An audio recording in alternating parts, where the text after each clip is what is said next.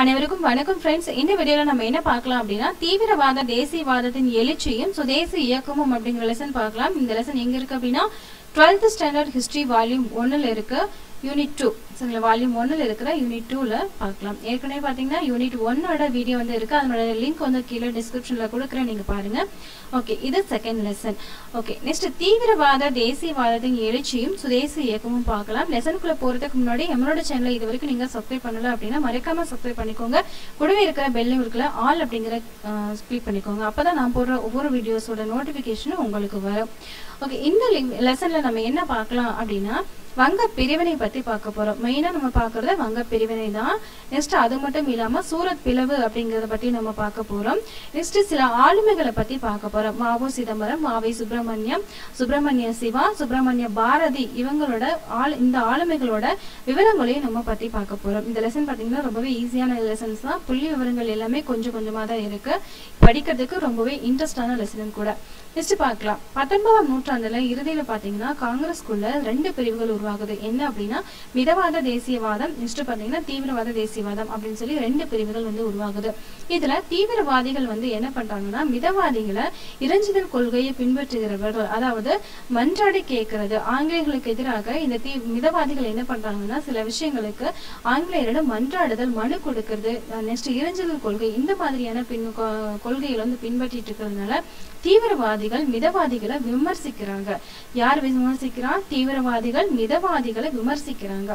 விமர்சிச்சதுனாலதான் அந்த ஆயிரத்தி தொள்ளாயிரத்தி ஏழு சூரத் மாநாட்டுல ரெண்டு பிரிவா வந்து பிரிஞ்சிடுறாங்க. இந்த சில மூன்று இடங்கள்ல தீவிரவாதிகள் வந்து என்ன பண்றாங்கன்னா தன்னோட இடங்கள்ல தீவிரவாத கொள்கையை வந்து அதாவது போர்க்குணம் மிக்க இவங்களுடைய தீவிரவாத கொள்கையை வந்து வளர்ச்சி அடைய வைக்கிறாங்க. யார் யாரும் அப்படின்னா பாலகங்காதர திலகர். மகாராஷ்டிராவுல பாலகங்காதர திலகர். நெக்ஸ்ட் பிபின் சந்திரபால் வங்காளத்துல பிபின் சந்திரபால் பஞ்சாப்ல லாலா லஜபதி ராய் இந்த மூணு பேருமே தன்னுடைய தீவிரவாத கருத்துக்களை வந்து விளைவிக்கிறவங்க. அது மட்டும் இல்லாம இந்த மூன்று பேருமே தீவிரவாத தேசியவாதிகள். சரிங்களா? பாலகங்காதர திலகர் பிபின் சந்திரபால் லாலா லஜபதி ராய் இந்த மூன்று பேருமே பாத்தீங்க அப்படின்னா தீவிரவாத தேசியவாதத்தை சார்ந்தவர்கள். இவங்க தன்னோட இடங்களான பாலகங்காதர திலகர் மகாராஷ்டிராவிலையும் பிபின் சந்திரபால் வங்காளத்திலையும் பஞ்சாப்ல லாலா லஜபத் ராய் இந்த மூணு பேருமே தன்னோட இடங்கள்ல தீவிரவாத தன்மையை வந்து வளர்ச்சி அடைய வைக்கிறாங்க. இந்த பகுதி பார்த்தீங்கன்னா பொறுத்துகளை கண்டிப்பா கேட்பாங்க. நெக்ஸ்ட் பாத்தீங்கன்னா இந்த மாதிரி தீவிரவாதம் வளர்ச்சி அடைவதற்கு என்ன காரணம் அப்படின்னா மூன்று காரணம் இருக்கு. ஒன்று பாத்தீங்க அப்படின்னா காங்கிரஸ்குள்ள ஏற்பட்ட உட்குழுக்கள் உட்பூசல் உட்குழுக்கள் அப்படின்னு கூட வச்சுக்கலாம். நெக்ஸ்ட் பாத்தீங்கன்னா தீவிரவாத மிதவாத தேசியவாதிகளின் அரசியல் நடவடிக்கைகளால் ஏற்பட்ட மனச்சோர்வு.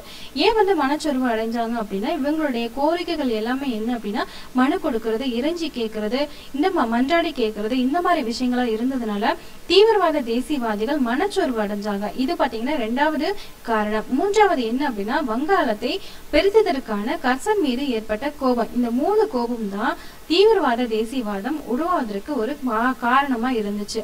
இது பாத்தீங்கன்னா கூற்றும் காரணமும் அப்படிங்கிற பகுதியில கேட்கறதுக்கு நிறையவே சான்ஸ் இருக்கு. இதுவும் ரொம்ப இம்பார்ட்டன்ட் பகுதி தான்.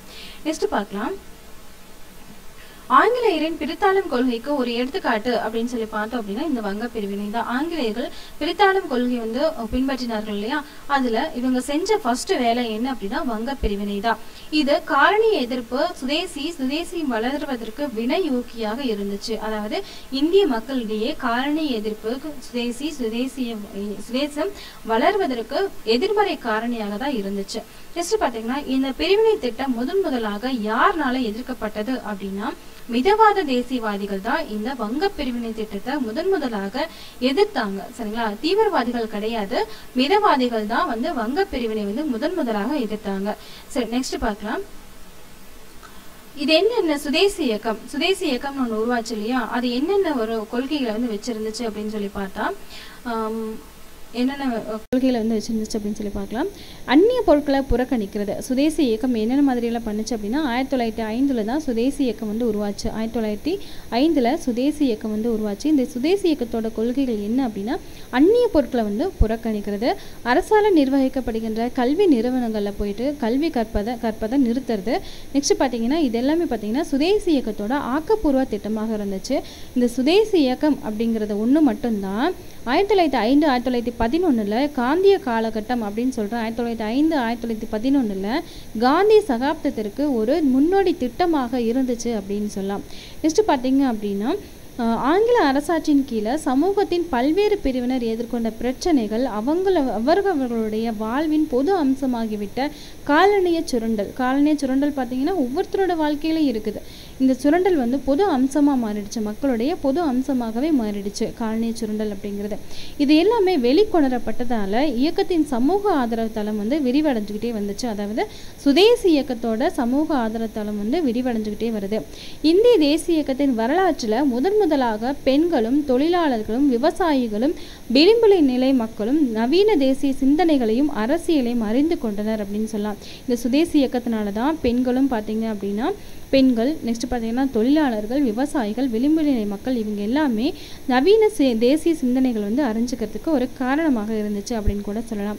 நெக்ஸ்ட் பார்த்தீங்கன்னா வட்டார மொழி பத்திரிகைகளும் பார்த்தீங்கன்னா நம்மளுடைய இந்த மாதிரியான ஒரு காலனி ஆதிக்கத்தில் இருக்கிறோம் அப்படிங்கிறத வந்து மக்கள் அறிஞ்சிக்கிறதுக்கு வந்து ரொம்பவே உதவியாக இருந்துச்சுன்னு சொல்லலாம்.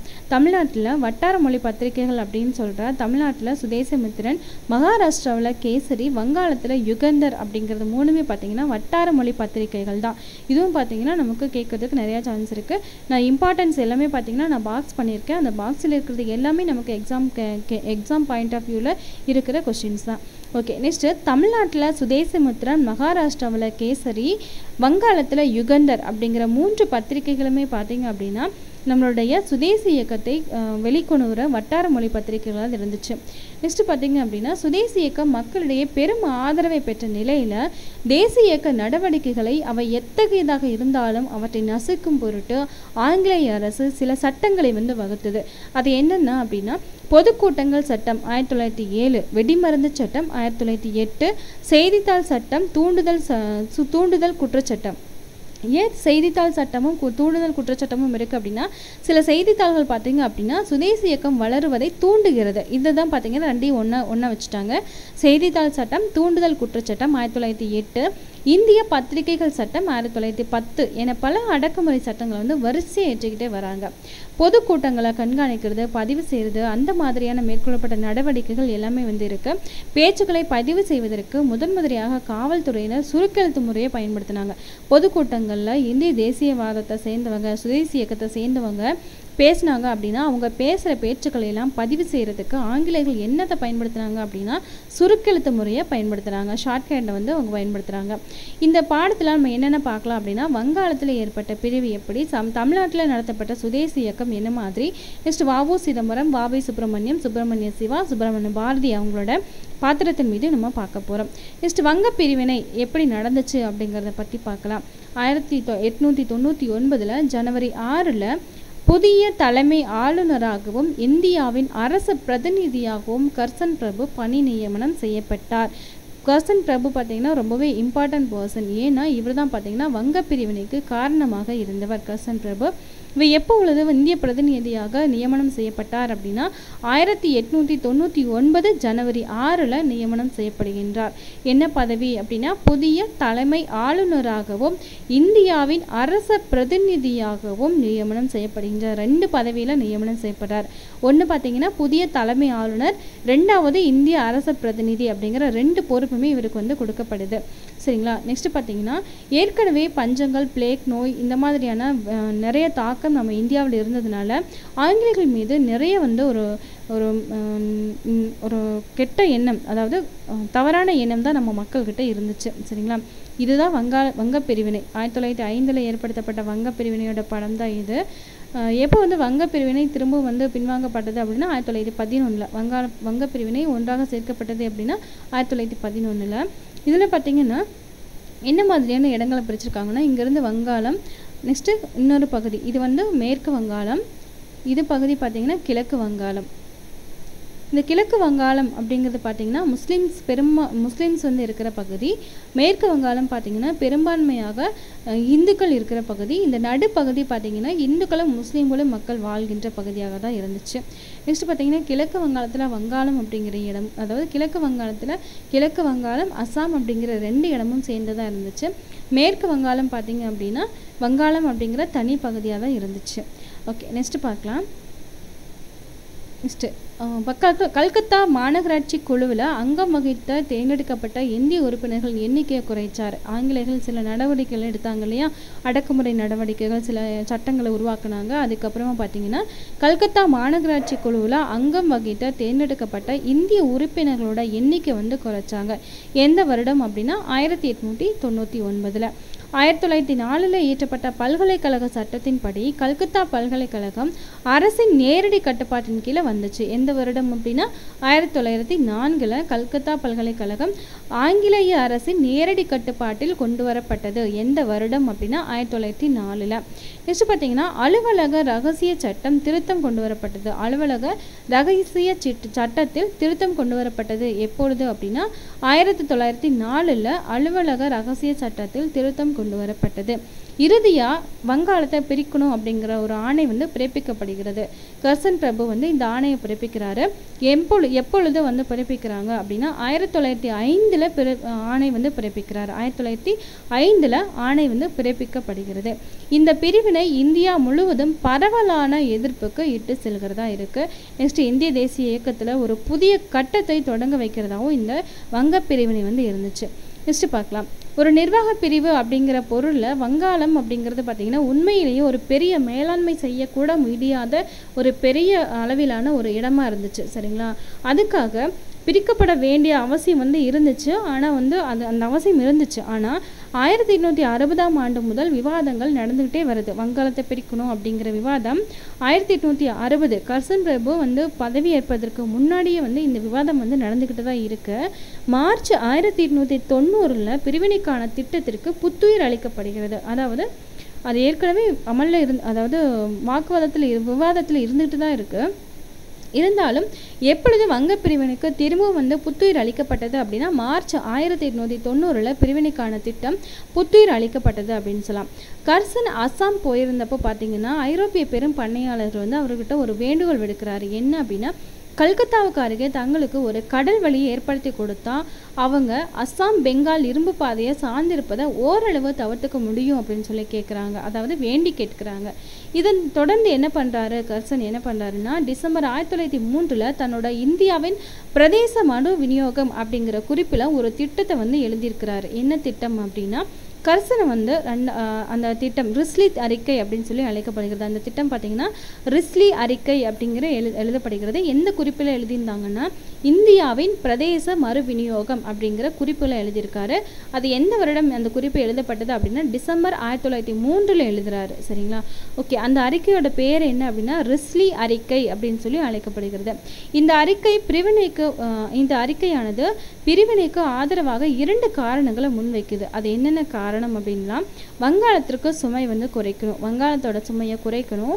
அசாமோட முன்னேற்றம் அப்படிங்கிறது ரெண்டு காரணத்தை வச்சு வங்க பிரிவினையானது பிரிக்கப்படுகிறது அப்படின்னு சொல்லி சொல்கிறாரு ஆனால் உண்மையிலேயே அதற்கு என்ன காரணம் என்ன அப்படின்னா ஆங்கிலேய அதிகாரிகளின் வசதிக்காகவும் ஐரோப்பிய வணிகர்களின் வசதிக்காகவும் தான் வன் வங்க பிரிவினையானது தீட்டப்பட்டது. வங்க பிரிவினை பிரிக்கணும் அப்படிங்கிற திட்டம் வந்து தீட்டப்பட்டது அப்படிங்கிற விஷயம் எல்லாத்துக்குமே வந்து மறைக்கப்படுகின்றது. நெக்ஸ்ட் பார்க்கலாம். தொடக்கத்தில் வங்காளத்தில் சில பகுதிகளை மாற்றுறது அல்லது ஏனைய பகுதிகளை மாற்றி அமைக்கிறது அப்படிங்கிற எண்ணம் தான் வந்து இருந்துச்சு. ஆயிரத்தி தொள்ளாயிரத்தி மூன்று அது டிசம்பர் ஆயிரத்தி தொள்ளாயிரத்தி மூன்று முதல் ஆயிரத்தி தொள்ளாயிரத்தி ஐந்துக்குள்ளே இந்த மாதிரி திட்டம் தான் இருந்துச்சு. சில பகுதியில் மாற்றலாம் அப்படிங்கிற எண்ணம் தான் இருந்துச்சு. ஆனால் வங்காளம் ரெண்டு மாகாணமாக பிரிக்கப்படணும். புதிய கிழக்கு வங்காளமும் அஸ்ஸாமும் சிட்டகாங் சிட்டகாங் டாக்கா திப்பேராவில் இருக்கிற ராஜசாகி மலையின் சில பகுதிகள் அஸ்ஸாம் மாகாணம் இந்த மாதிரி இன்னொரு மாகாணமாகவும் பிரிக்கப்படணும் அப்படின்னு சொல்லி திட்டம் தீட்டினாங்க. நெக்ஸ்ட் பார்த்தீங்கன்னா இந்த வங்க பிரிவினை பிரிப்பதற்கான முக்கிய நோக்கம் என்ன அப்படின்னா இந்து முஸ்லீம்களை பிரிக்கிறதா? நெக்ஸ்ட் பார்த்தீங்கன்னா கர்சனுடைய நோக்கம் இதுதான். இந்து முஸ்லீம்களை எப்படியாவது பிரிக்கணும் அப்படிங்கிறதா. அது மட்டும் இல்லாமல் வங்காளத்தை மொழி அடிப்படையில் பிரிக்கலாம் அப்படிங்கிற கருத்து கர்சனால் பின் புறந்தள்ளப்பட்டது. கர்சனோட எண்ணமே பார்த்தீங்கன்னா இந்து மக்கள் இந்து முஸ்லீம் மக்களை வந்து பிரிக்கணும் அப்படிங்கிறதா. ஆனால் அதற்கு முன்னாடி மொழி அடிப்படையில் பிரிக்கலாம் அப்படிங்கிற ஒரு கருத்து இருந்தது வந்து கர்சன் பிரபு வந்து புறந்தள்ளுகிறார். அந்த கருத்து வேண்டாம் அப்படின்னு சொல்லி நினைக்கிறார். நெக்ஸ்ட் பார்த்தீங்கன்னா உண்மையிலேயே புவியின் அடிப்படையில் வங்காளத்தை பிரிக்கிறது ஒரு ஒரு இயற்கையான காரணம் என்ன அப்படின்னா பகீரதி ஆறு அப்படிங்கிறதா. பகீரதி ஆறு பார்த்தீங்கன்னா வங்காளத்தை இயற்கையிலேயே இரண்டாக பிரிக்கும் ஒரு ஆறு. சரிங்களா? பு புவியியல் அடிப்படையில் பகீரதி அப்படிங்கிற ஆறு தான் இரண்டாக பிரிக்கின்ற ஆறு. எந்த எது அப்படின்னா வங்காளத்தை. சரிங்களா? ஓகே நெக்ஸ்ட் பார்த்தீங்கன்னா ஆயிரத்தி தொள்ளாயிரத்தி நாலில் டாக்காவில் கர்சன் வந்து என்ன சொல்கிறாரு அப்படின்னா முஸ்லீம்களுக்கு ஒரு உறுதி அளிக்கிறார். நீங்கள் வந்து நம்ம மாகாணம் பிரித்ததுக்கு அப்புறமா அங்கே ஒரு தனி ஒரு ராஜ்யம் உங்களுக்கு உங்களுக்கு வந்து கிடைக்கும் அப்படின்னு சொல்லி முஸ்லீம்களுக்கு ஒரு உறுதி அளிக்கிறார். ஆயிரத்தி தொள்ளாயிரத்தி நாலில் டாக்காவில் கர்சன் வந்து இந்த உறுதி வந்து அளிக்கிறாரு. இதை நம்பி முஸ்லீம்கள் வந்து அதற்கு எதிர்ப்பு தெரிவிக்கல. நெக்ஸ்ட் பார்த்தீங்கன்னா வங்க பிரிவினை வங்காள மக்களை மதத்தின் அடிப்படையில் பிரிப்பதற்கு பதிலாக அவர்களை ஒன்றுபடுத்தியது அப்படின்னு சொல்லலாம். அதாவது இனம் வர்க்கம் சமயம் வட்டாரம் இது எல்லாமே தாண்டி மக்களிடையே வளர்ந்து கொண்டிருக்கிற வங்காளிகள் அப்படிங்கிற அடையாளத்தை ஆங்கில நிர்வாகம் ஆங்கில நிர்வாகம் ஒருவேளை குறைத்து மதிப்பிட்டிருக்கலாம். சரிங்களா? ஆங்கில நிர்வாகம் வந்து எப்படி வந்து வங்காளிகள் அப்படிங்கிற அடையாளத்தை நம்ம அழிச்சிடலாம் அப்படின்னு சொல்லி தான் இந்த பிரிவினை வந்து தீட்டியிருக்காங்க ஆனால் அது செல்லுபடியாகல. நெக்ஸ்ட் பத்தொன்பதாம் நூற்றாண்டுல இறுதியில் சமூகத்தின் பெரும் பகுதியினரிடையே பார்த்தீங்கன்னா வங்காள ஒற்றுமை அப்படிங்கிற ஒரு வலுவான எண்ணம் வந்து வளர்ந்துருந்துச்சு. அதுக்கு காரணமாக இருந்தவர் யார் அப்படின்னா ரவீந்திரநாத் தாகூர் தான். அவர் தன்னோட வங்க மொழி பத்திரிகை பத்திரிகைனால தன்னோட வங்காளிகள் அப்படிங்கிற அடையாளத்தை வந்து உருவாக்கி வச்சிருந்தாரு. வட்டார மொழி பத்திரிகைகள் வளர்ச்சி ஒற்றுமை தொடர்பான கதை வடிவிலான விவரிப்புகள் கட்டமைப்பில் கட்டமைப்பதில் பங்காற்றியது. அவங்க எல்லாமே ஒரு கதை வடிவிலான வங்காளிகள் அப்படிங்கிற அடையாளத்தை வந்து ஒற்றுமைப்படுத்தி வச்சிருக்கிறாங்க. அது மட்டும் இல்லாமல் பஞ்சங்கள் வேலையின்மை பொருளாதார வளர்ச்சியில் ஏற்பட்ட சருக்கள் எல்லாமே காலனி ஆதிக்கத்தை எதிர்க்கணும் அப்படிங்கிற உணர்வை வந்து தோற்றுவிச்சது.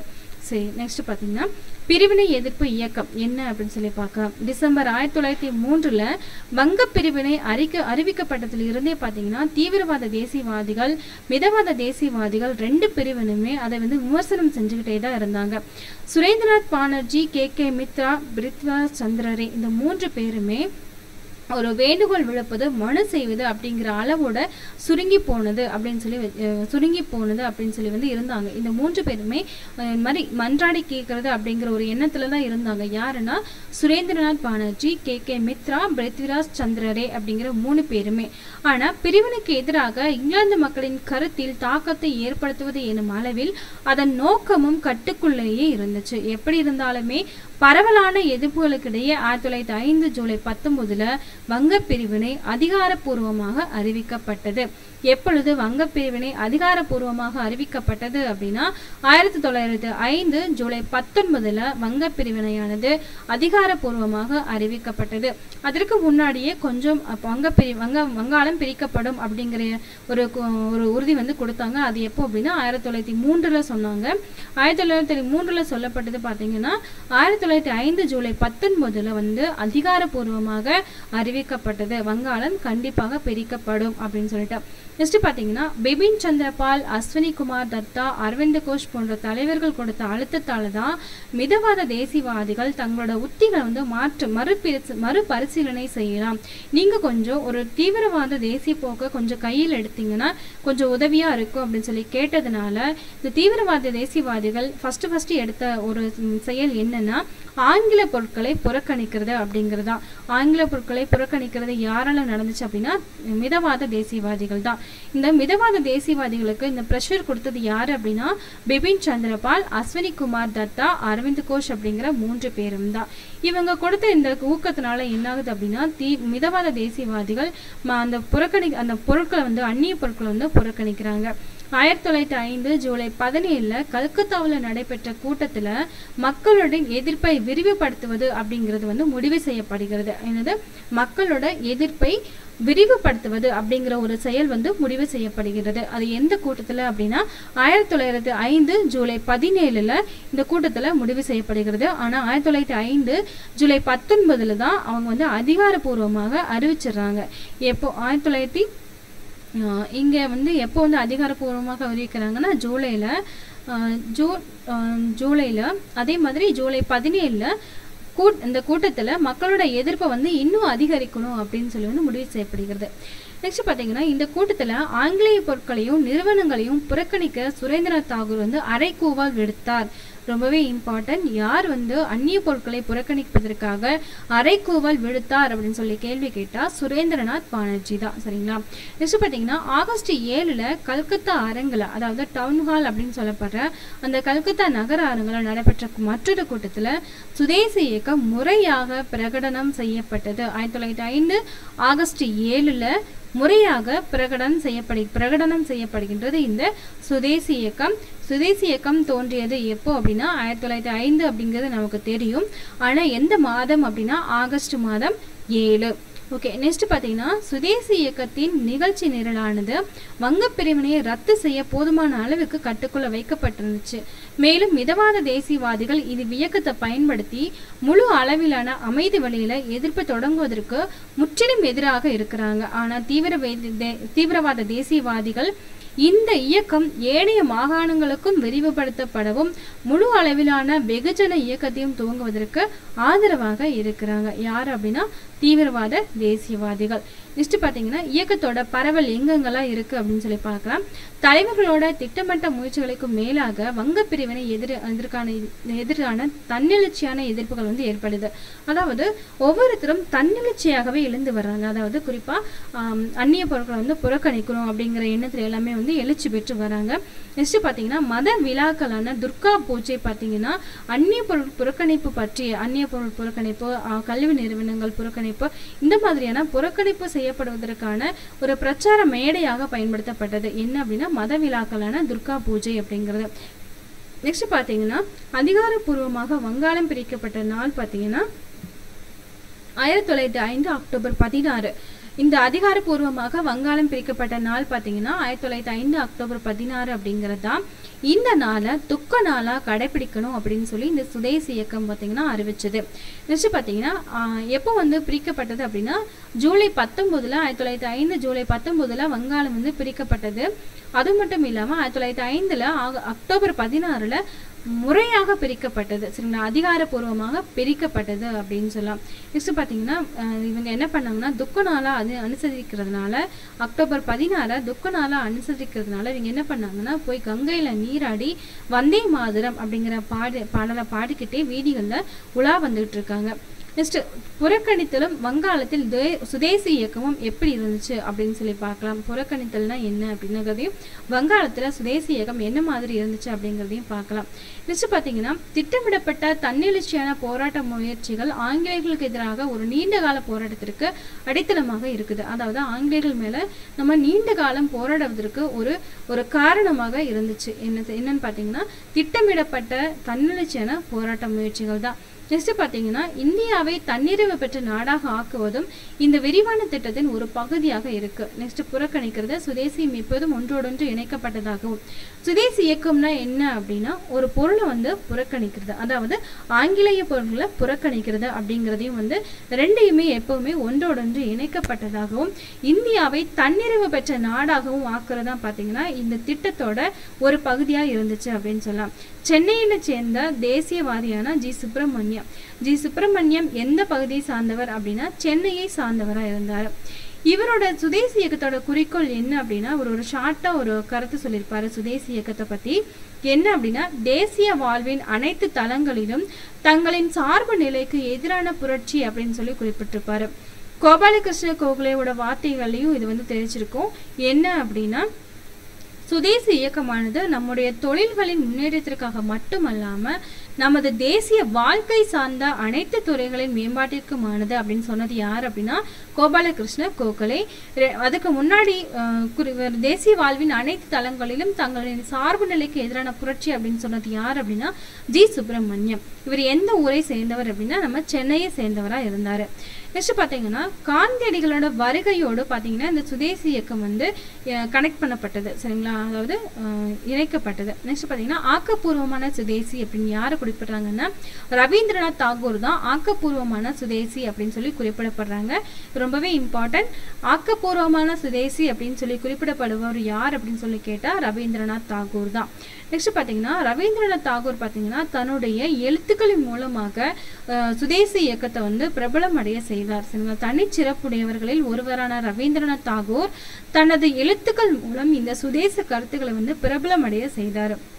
நெக்ஸ்ட் பார்த்தீங்கன்னா சுய உதவி ஆத்ம சக்தி அப்படிங்கிற ஆக்க திட்டத்தினை வந்து அவர் வந்து கோடிட்டு காட்டுறாரு. சுய உதவி ஆத்ம சக்தி அப்படிங்கிற வேர்டு வந்து யாருடன் தொடர்புடையது அப்படின்னா ரவீந்திரநாத் தாகூரோட தொடர்புடையதுதான். தாகூர் சுய பொருளாதார வளர்ச்சிக்கு வந்து அழைப்பு விடுக்கிறார். சுய பொருளாதார வ- சுய ஆத்ம சக்தி அப்படிங்கிற வேர்டு வந்துச்சுனாவே அது ரவீந்திரநாத் தாகூர் தான். நெக்ஸ்ட் பார்த்தீங்கன்னா தாய்மொழியில் கல்வி வழங்கப்பட வேண்டும் அப்படின்னு சொல்லி வலியுறுத்தியவர் யார் அப்படின்னா ரவீந்திரநாத் தாகூர் தான். நெக்ஸ்ட் பார்த்தீங்கன்னா தாய்மொழியில வழங்கப்பட வேண்டும் என வற்புறுத்தியவர் யார் அப்படிங்கிறது காந்தியடிகளும் இருக்காரு. ஆனா ரவீந்திரநாத் தாகூரும் இருக்காங்க. ரெண்டு ஆப்ஷனையும் நம்ம பார்த்துக்கணும். நெக்ஸ்ட் பார்த்தீங்கன்னா சுய உதவி அதாவது ஆத்ம சக்தி அப்படிங்கிற செய்தியை மக்களிடம் பரப்புவதற்கு மேலாக்கள் திருவிழாக்கள் இது எல்லாமே நம்ம அவங்க பயன்படுத்தணும் அப்படின்னு சொல்லி அழைப்பு விடுத்தவர் யாரு அப்படின்னா ரவீந்திரநாத் தாகூர் தான். இதுக்கு மேலே வந்து அடைக்குவல் விடுத்தவர் யாரு அப்படின்னு சொல்லியிருப்பாங்க. இப்போ பார்த்தீங்க அப்படின்னா அழைப்பு விடுத்தவர் அப்படின்னு சொல்லி கொடுத்துருப்பாங்க. சரிங்களா? ரெண்டுமே ரொம்பவே இம்பார்ட்டன்ட் தான். நெக்ஸ்ட் பார்த்தீங்க அப்படின்னா சுதேசி விற்பனை நிலையங்கள் வந்து பெருகுச்சு அதுக்கப்புறமா. ஏன்னா நம்ம ஆங்கிலேய பொருட்களை வந்து புறக்கணிச்சிட்டோம். ஆனால் பொருட்களை வாங்கி தான் ஆகணும். அதனால என்ன ஆகுது அப்படின்னா சுதேசி இயக்கமே விற்பனை நிலையத்தை வந்து ஆரம்பிக்குது. அதே மாதிரி ஜவுளி கைத்தறி துணிகள் சோப்புகள் மண்பாண்டங்கள் தீப்பெட்டி தோல் பொருட்கள் இந்த மாதிரியான சுதேசி விற்பனைகளை வந்து பெருக்கி வச்சிருக்காங்க. நெக்ஸ்ட் பார்க்கலாம். இந்த பாக்ஸில் ஏற்கனவே ஒரு பாக்ஸில் கொடுத்துருக்காங்க அதையும் நம்ம பார்க்கலாம். சுதேசி இயக்கம்னா என்ன? சுதேசி சிந்தனையோட பரிணாம வளர்ச்சினா என்ன அப்படின்னு சொல்லி கொடுத்துருக்காங்க விடுதலை போராட்டத்தின் அப்போ சுதேசி இயக்கம் என்ற எண்ணம் முதன் முதலாக ஆயிரத்தி தொள்ளாயிரத்தி ஐந்தில் சில காங்கிரஸ் தலைவர்களாலையும் ஆயிரத்தி தொள்ளாயிரத்தி இருபதில் மகாத்மா காந்தியடிகளாலும் வந்து பயன்படுத்தப்பட்டு ஒரு தத்துவமாக மாறுச்சு. ஃபஸ்ட்டு பார்த்தீங்கன்னா ஆயிரத்தி தொள்ளாயிரத்தி ஐந்தில் ஒரு சில காங்கிரஸால் மட்டும்தான் இந்த சுதேசி சிந்தனை அப்படிங்கிறது வந்துச்சு. அதுக்கப்புறமா ஆயிரத்தி தொள்ளாயிரத்தி இருபதுல காந்தியடிகள் வந்து அதை முன்னெடுத்தார்.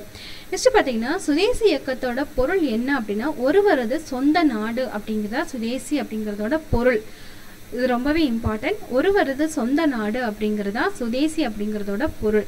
இந்த தத்துவத்தின் தோற்றம் எப்பொழுது மு- முதல்ல உருவாச்சு அப்படின்னா ஆயிரத்தி எட்நூத்தி எழுபத்தி ரெண்டுலேயே உருவாச்சு. அதாவது ஆயிரத்தி தொள்ளாயிரத்தி ஐந்துல இந்த சுதேசி இயக்கம் வந்து எழுச்சி பெறுவதற்கு முன்னாடியே ஆயிரத்தி எட்நூத்தி எழுபத்தி ரெண்டுல பூனாவில் மகாதேவ் கோவிந்த் ரானடே அப்படிங்கிறவரோட சொற்பொழிவுகள் மூலமா தான் இந்த சிந்தனை வந்து பிரபலமாகியது. சரிங்களா? இந்த பூனாவில் மகாதேவ் கோவிந்த் ரானடே அப்படிங்கிறவரோட சுருக்கமான பெயர் என்ன அப்படின்னா எம்ஜி ரானடே அப்படிங்கிறவர் தான் சரிங்களா? முதன் முதலாக சுதேசி அப்படிங்கிற சிந்தனையை வளர்த்தவர் யாரு அப்படின்னா பிரபலப்படுத்தியவர் யாரு அப்படின்னா மகாதேவ் எம்ஜி ரானடே தான் அதாவது எம்ஜி ரானடே தான் எந்த வருடம் நடைபெற்ற சொற்பொழிவுலன்னா ஆயிரத்தி எட்நூற்றி எழுபத்தி ரெண்டில் எந்த ஊரை சார்ந்தவர் அப்படின்னா பூனாவில். சரிங்களா? ஓகே. நெக்ஸ்ட் ரானடேவோட கருத்துப்படி ஒருவரோட சொந்த நாட்டில் உற்பத்தி செய்யப்படுற பொருட்களுக்கு அப்பொருட்களின் பயன்பாடு குறைவான மனநிலையை கொடுத்தாலும் அந்த பொருட்களுக்கு தான் முதன் முதல்ல முக்கியத்துவம் தரப்படணும் அப்படின்னு சொல்லி சொன்னார். ஆயிரத்தி தொள்ளாயிரத்தி இருபதுல காந்தியடிகள் இதை அனைத்து இந்தியர்களும் தங்களுடைய பிறந்த நாட்டிற்கு செய்ய வேண்டிய கடமைகள் சிந்தனைகளோடு இணைத்து சுதேசி சிந்தனைக்கு புதிய பொருளை வந்து கொடுக்கறாரு நம்மளுடைய காந்தியடிகள் எந்த வருடம் அப்படின்னா ஆயிரத்தி தொள்ளாயிரத்தி இருபதுல. ஓகே நெக்ஸ்ட் சுதேசி அப்படிங்கிற எண்ணம் நமக்குள் இருக்கும் ஆன்ம பலம் அது வெகு தொலைவில் உள்ள கிடைக்கிற பொருட்களை மேல நம்ம வைக்காம நம்மளால உருவாக்கப்பட்ட பொருட்களுக்கு மட்டுமே நம்ம முன்னுரிமை கொடுத்தோம் அப்படின்னா நம்ம நாடு உண்மையான வளர்ச்சி அடையும் அப்படிங்கிறது தான் இந்த சுதேசி இயக்கத்தோட கொள்கையாகவும் இருந்துச்சு. சுதேசி அப்படிங்கிறதோட பொருளாகவும் இருந்துச்சு. நெக்ஸ்ட் பாருங்க. வட்டார மொழியில் கல்வி எனும் கருத்து சுதேசி இயக்கத்திற்கு வெகு முன்னரே தோன்றியது. அதாவது இவங்க க- கல்வியை வந்து புறக்கணிச்சிட்டு வட்டார மொழி கல்வியை வந்து கொண்டு கொண்டு வந்தாங்க இல்லையா? இந்த கருத்து வந்து எப்போ தோன்றியச்சு அப்படின்னா ஆயிரத்தி தொள்ளாயிரத்தி ரெண்டில் யாரால் தோன்றியது அப்படின்னா சதீஷ் சந்திராவால் தோன்றப்பட்டது. ஒரு கழகம் ஒன்று உருவாக்குனாரு. சதீஷ் சந்திரா ஒரு கழகத்தை வந்து உருவாக்குறாரு. அது என்ன கழகம்னா வெடிவெள்ளி கழகம் அப்படின்னு சொல்லி ஒரு கழகத்தை உருவாக்குறாரு. இந்த கழகத்துல தான் பாத்தீங்கன்னா வட்டார மொழியில் கல்வி அப்படிங்கிற கருத்து வந்து சுதேசி கருத்து வந்து உருவானது அப்படின்னு சொல்றாங்க. ஓகே நெக்ஸ்ட் ஆயிரத்தி தொள்ளாயிரத்தி ஐந்துல நவம்பர் ஐந்துல விடிவெளி கழகத்தின் முன்னெடுப்புல கல்விக்கான தேசிய கழகம் உருவாக்கப்பட்டது. ஏன்னா ஆங்கிலேய கல்வியை புறக்கணிச்சாச்சு. கல்விக்கான தேசிய கல்விக்கான ஒரு கழகம் வேணும் அப்படிங்கிறதுனால ஆயிரத்தி தொள்ளாயிரத்தி ஐந்து நவம்பர் அஞ்சுல விடிவெளி கழகம் உருவாக்கப்படுகின்றது. நெக்ஸ்ட் பார்த்தீங்க அப்படின்னா சமிதி. சமிதி அப்படிங்கிறது என்ன அப்படின்னா தொண்டர்கள் சுதேசி தொண்டர்கள் இருக்கிறதா பார்த்தீங்கன்னா சமிதி அப்படின்னு சொல்லி அழைக்கப்பட்டது. இந்த இந்த சமிதி பார்த்தீங்கன்னா என்னென்ன மாதிரியான செயல்களை செஞ்சுச்சு அப்படின்னா உறுப்பினர்களுக்கு உடற்பயிற்சி அளிக்கிறது அறநெறிகளை கற்றுக் கொடுக்கிறது பஞ்சங்களின் போதும் நோய்களின் பொழுதும் தாக்கத்தின் பொழுதும் சேவையாற்றுவது விழாக்காலங்களில் சுதேசி செய்திகளை பரப்புரை செய்கிறது உள்ளூர் அளவில் பள்ளிகளையும் நடுவர் நீதிமன்றங்களையும் உருவாக்குறது இந்த மாதிரியான செயல்களை தான் பார்த்தீங்கன்னா இந்த சமிதி அப்படிங்கிறது வந்து செஞ்சுட்டு வந்துச்சு. நெக்ஸ்ட் பார்க்கலாம். சுதேசி இயக்கவாதிகள் பல சமயங்களில் சமூக ரீதியாகவும் உடல் ரீதியாகவும் வலுக்கட்டாய முறைகளை கையாளுறாங்க. சுதேசி இயக்கவாதிகள் இது ஒரு விஷயத்த பண்ணிடுறாங்க. என்னன்னா சமூக ரீதியாகவும் உடல் ரீதியாகவும் வலுக்கட்டாயமான முறைகளை வந்து கையாளுறாங்க. நெக்ஸ்ட் பார்த்தீங்கன்னா வாங்குவோரை சமூக புறக்கணிப்பு செய்வது சாதாரணமாகவே நடைபெற்றது. இந்த சு சு- இந்த சுதேசி இயக்கத்தினால என்னாச்சு அப்படின்னா வெளிநாட்டு பொருட்களை வாங்குறாங்க இல்லையா? அவங்கள வந்து சமூக புறக்கணிப்பு செய்கிறது வந்து சாதாரணமாகவே நடைபெற்றுச்சு. வெளிநாட்டு பொருட்களை யாராவது வாங்கினாங்கன்னா அவங்கள தள்ளி வைக்கிற பழக்கம் வந்து அப்போவே வந்து இருந்துச்சு. எதனால் அப்படின்னா இந்த சுதேசி இயக்கத்தினால தான் நெக்ஸ்ட் பாருங்க. சாத்வீக செயலற்ற எதிர்ப்பு எப்போ வளர்ந்துச்சு அப்படின்னு சொல்லி பார்க்கலாம். ஆயிரத்தி தொள்ளாயிரத்தி ஆறிலிருந்து சுதேசி இயக்கம் மு முக்கியமான மாற்றம் அடைந்து வந்துட்டே இருக்கு. நெக்ஸ்ட் பார்த்தீங்கன்னா சுதேசி இயக்கம் வங்க பிரிவினை வந்து ரத்து செய்யறதுக்கு உண்டான எந்த ஒரு செயலையும் வந்து செய்ய முடியாமையே இருந்ததுனால ஆயிரத்தி தொள்ளாயிரத்தி ஆறுலேருந்து பார்த்தீங்கன்னா சுதேசி இயக்கம் ஒரு முக்கிய மாற்றம் பெற்றது அப்படின்னு கூட சொல்லலாம். சுதந்திரம் அல்லது சுயராஜ்யம் அப்படிங்கிற கருத்தை வந்து பரப்பணும் அப்படின்னு சொல்லி எல்லாரும் முடிவு பண்ணாங்க. ஆக்கச்சார்பான சுதேசி செயல்பாடுகள் அரவிந்த் கோஷ் பிபின் சந்திரபால் போன்ற தலைவர்களாலும் ஏனைய தீவிர தேசியவாத தலைவர்களாலும் கடுமையாக விமர்சனம் செய்யப்பட்டது. அதாவது அரவிந்த் கோஷும் பிபின் சந்திரபாலும் பார்த்தீங்கன்னா நம்மளுடைய இயக்கம் என்ன மாதிரியான விஷயத்தை வந்து செய்யலை? வங்க பிரிவினை வந்து தவிர்க்கிறதுக்கு உண்டான எந்த ஒரு வேலையை வந்து செய்யலை அப்படின்னு சொல்லி சுதேசி இயக்கம் கடும் விமர்சனத்திற்கு உள்ளாக்கப்பட்டது. யார்னால அப்படின்னா அரவிந்த் கோஷ் பிபின் சந்திரபால் இந்த ரெண்டு பேருமே சுதேசி இயக்கத்தை விமர்சனம் செய்தாங்க. அவர்களின் புதிய வழிகாட்டுதலின் கீழே சுதேசி இயக்க நிகழ்ச்சியினரில் பின்வருமாறு இணைத்து கொட்ட கொள்ளப்பட்டது. அதாவது திரும்பவும் இவங்க ஒரு வழிகாட்டுதல் பண்றாங்க. சுதேசி இயக்கம் இந்த மாதிரியான வ- ஒரு முறையை வச்சிருந்தா கண்டிப்பா ஒரு ஒரு அச்சீவ் பண்ணலாம் அப்படின்னு சொல்லி வந்து இந்த சில கொள்கைகள் வந்து அதில் திணிக்கிறாங்க. என்னன்னா அந்நிய பொருட்களை புறக்கணிக்கிறது. ரெண்டாவது அரசு பள்ளிகளையும் கல்லூரிகளையும் வந்து புறக்கணி புறக்கணிக்கிறது. மூன்றாவது நீதிமன்றங்களை புறக்கணிக்கிறது. நான்காவது பட்டங்களை துறந்து விடுறது. நெக்ஸ்ட் வந்து அரசு பணிகளை கைவிடுறது. ஆறாவது ஆங்கிலேயரின் அடக்குமுறை தாங்க இயலாத அளவுக்கு போகும் பொழுது ஆயுதத்தை தேடுவது. இந்த மாதிரி ஒரு ஆறு விஷயங்களை வந்து எடுத்துக்கணும். சுதேசி இயக்கத்தில் வந்து துணையாக வச்சுக்கணும் அப்படின்னு சொல்லி சொன்னது யார் அப்படின்னா அரவிந்த் கோஷும் பிபின் சந்திரபாலும் தான் ஓகே நெக்ஸ்ட் பார்த்தீங்கன்னா அது மட்டும் இல்லாமல் இந்த சுதேசி இயக்கம் என்னென்ன மாதிரியான ஒரு பெரிய விஷயத்த பண்ணுச்சு? என்ன அப்படின்னா மதத்தோடு பண்டைய பாரம்பரிய பெருமைகளையும் இணைத்துக் கொள்வது இவ்வியக்கங்களின் மிக முக்கிய கூறுகளாக மாறியது. நம்மளுடைய பாரம்பரியத்தை விட்டு கொடுக்கக்கூடாது நம்மளுடைய மதத்தை விட்டு கொடுக்கக்கூடியது கூடாது அப்படிங்கிற ரெண்டு செயல்களுமே இந்த இயக்கத்தின் முக்கிய குறிக்கோளாக மாறியது. ஓகே ஃப்ரெண்ட்ஸ் இந்த வீடியோ உங்களுக்கு பிடிச்சிருந்துச்சு அப்படின்னா மறக்காமல் என்னோட சேனலை சப்ஸ்கிரைப் பண்ணுங்கள் கூடவே இருக்கிற பெல் சிம்மில் கிளிக் பண்ணிக்கோங்க. இந்த வீடியோ உங்களுக்கு பிடிச்சிருந்துச்சு அப்படின்னா கீழே சின்னதாக ஒரு லைக் கொடுக்க மறந்துடாதீங்க. Okay thank you thank you very much